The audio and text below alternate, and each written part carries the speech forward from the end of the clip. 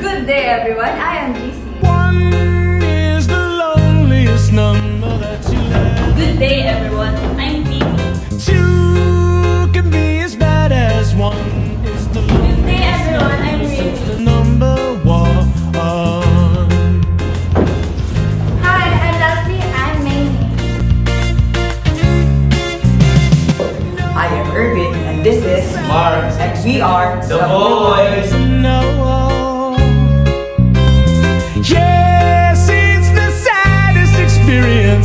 You'll ever know.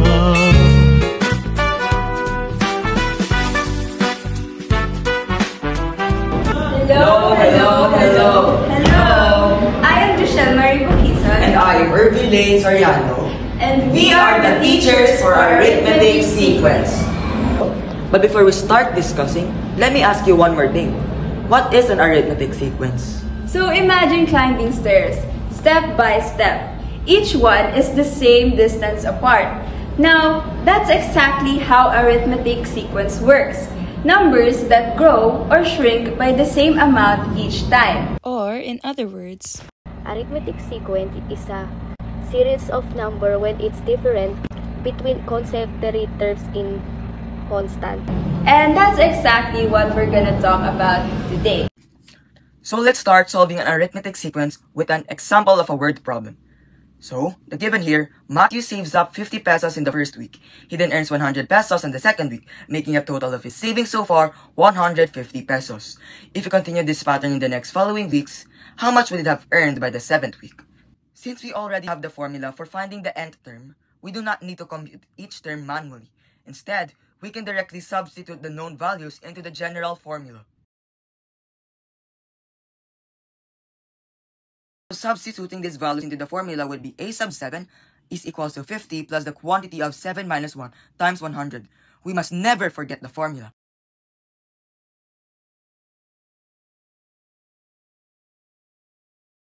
Now, applying the order of operations or PEMDAS, we must first solve the number inside the parentheses.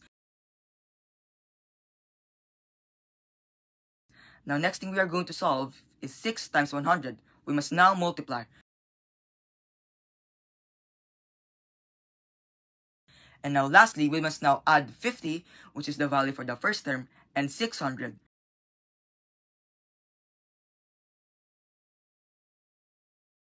Therefore, the value for the seventh term, or a sub 7, is 650. This means that by the seventh week, Matthew's total savings are amount to 650 pesos. Good day. My name is Brian Troy R. Lloren, And my name is Charlize Margot S. Quezon, and we will be and we will be teaching you about geometric sequence. But wait, what is geometric sequence? Well, a geometric sequence is a list of numbers where each term is found by multiplying the previous one by the same number. So in this problem, a magician has a magic coin. On the first day, the coin turned into 6 coins. Every day, the number of coins doubled. If there were 12 coins on the second day, how many coins will the magician have on the seventh day?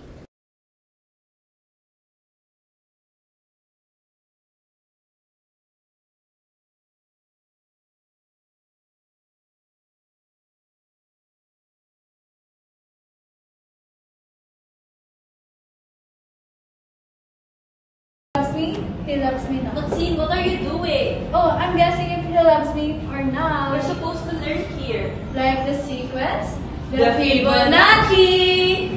The Fibonacci sequence is a sequence where these two is added to get the next term. For example, we have 1 and 1, so we have to add these two to get. So 1 plus 1 is 2. You have to repeat the same process to get the next term again. So, for the word problem, Bibi bought a candy worth 1 peso on her first visit at Mang Elena's candy store. And on the other day, she brought another candy worth 2 pesos. Using the Fibonacci sequence, how much is the worth the candy should buy on her 8th visit? So, we're gonna start with 0.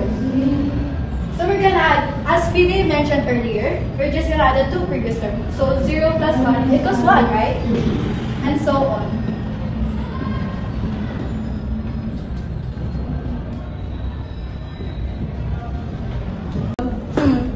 About what comes after 13.